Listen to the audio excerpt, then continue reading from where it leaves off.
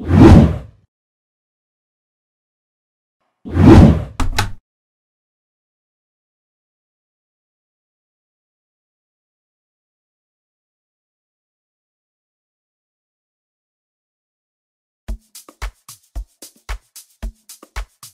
up every morning is a miracle and it's another chance we have as humans to leave our mark on the sense of time.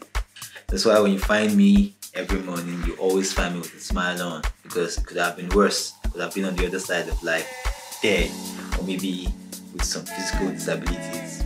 But here I am, grateful and thankful to God. Um, so I just owe myself to be a better and bigger version of myself than yesterday.